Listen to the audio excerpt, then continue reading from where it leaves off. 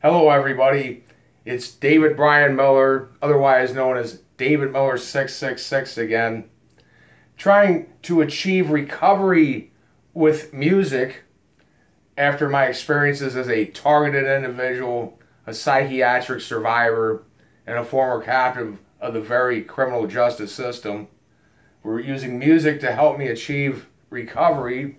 I'm trying to bring you some of these oldies here, very old, from about 200 years ago. Here's some more Ferdinando Carulli from his guitar method. This is from Opus 27, number 16, Poco Allegretto in F major.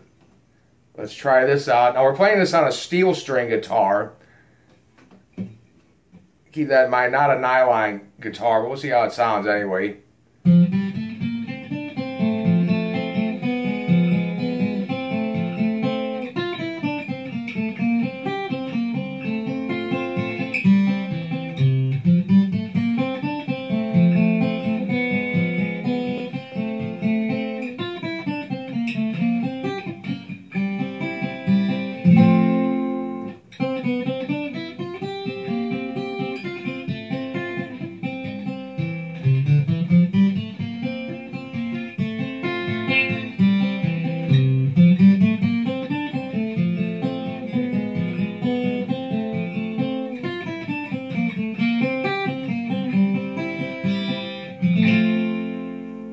Aha!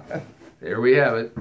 Poco Allegretto in F major from Opus 27, number 16 by Ferdinando Carulli. Thanks for listening. Bye.